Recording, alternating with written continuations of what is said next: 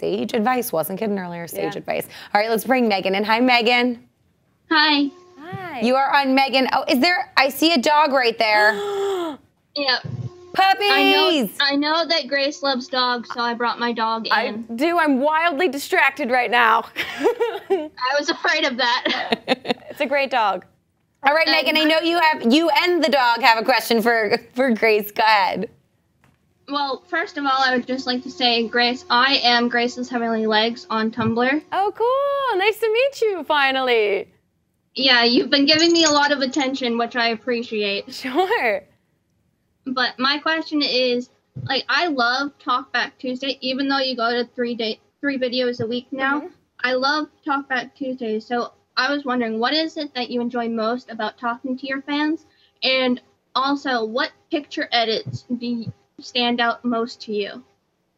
Um, okay, well, what do I enjoy most about talking to fans? I think um, you guys are unabashedly honest with your um, feedback, and uh, that can seem harsh at first, but is ultimately really helpful. And you guys keep me in check if I'm not being myself or if something seems like you they're the ones that tell me grace you should go to sleep. You look tired in this video. And so you're just a bunch of little internet moms to me which is really really great.